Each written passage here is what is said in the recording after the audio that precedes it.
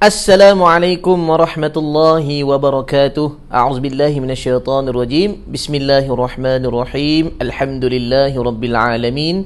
Wassalatu wassalamu ala asyrafil anbiya'i wal mursalin. Salawatullahi wassalamuhu alaihi wa ala alihi wa sahbihi ajma'in. Amma ba'd. Selamat datang ke channel YouTube Imam Syukri Ismail. Uh, bagi siapa-siapa yang belum lagi uh, belum lagi uh, subscribe share dan juga uh, komen ataupun like uh, channel YouTube ni boleh buat demikian kerana uh, pelbagai uh, perkongsian yang uh, menarik untuk tetapan anda semua kerana Nabi bersabda khairun nas yang fa'ulin nas. Sebaik-baik manusia adalah manusia yang memberi manfaat kepada manusia-manusia lain. Jadi hari ini saya nak kongsikan apa Ha, saya nak kongsikan satu tajuk iaitu doa harian. Apa doa yang kita nak baca hari ini? Ha, kita sama-sama nantikan. Iaitu doa apa? Doa murah rezeki.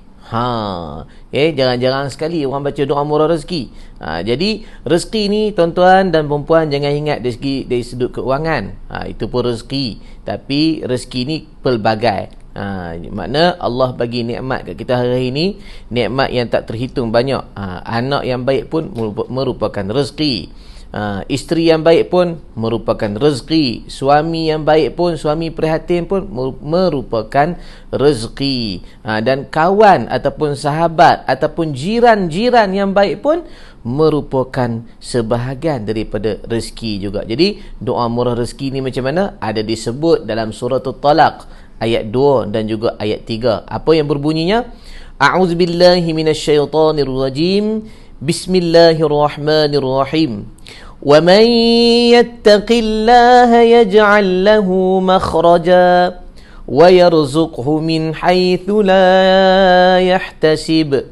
Wa man yatawakkal 'ala Allah fa huwa hasbuh.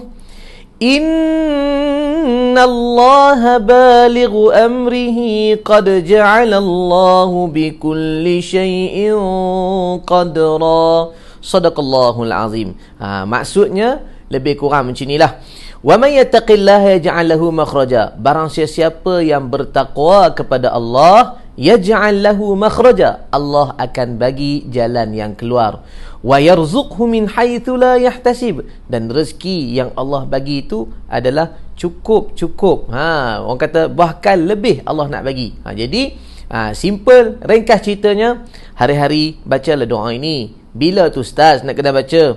Bacalah selepas subuh. Ha, tapi selepas waktu fajar ni kalau boleh tuan-tuan dan puan jangan tidur. Ha, amalkan sikit zikir-zikir. Kerana apa? Sepanjang PKP ni kalau kita zikir, baca Quran dan juga baca doa murah rezeki ni, mudah-mudahan mana tahu Allah Taala ganjarkan rezeki. Kan hari ni macam-macam isu yang berlaku kan? Masa PKP ramai orang yang tak ada bekerja, orang yang tak ada pekerjaan, ramai juga orang yang duduk di rumah. So manfaatkan waktu, ha, manfaatkan waktu kelapangan waktu itu untuk kita sama-sama mendekatkan diri kepada Allah. Ingat saudara-saudari sekalian, rezeki milik Allah. Jodoh, ajal maut semua ketentuan daripada Allah Subhanahu Wa Taala. Jadi kita yang beriman, kita yang mengharapkan rahmat Allah ni kalau boleh cuba usaha sedaya sedaya upaya mungkin untuk kita mudah-mudahan Allah memberikan rezeki yang terbaik buat kita semua. Jadi kalau anda rasa uh, perkongsian saya ni manfaat untuk semua, anda boleh subscribe, like dan juga komen. Uh, saya lebih suka orang yang komen uh, membina. Kalau saya cakap ni ada yang tersalah,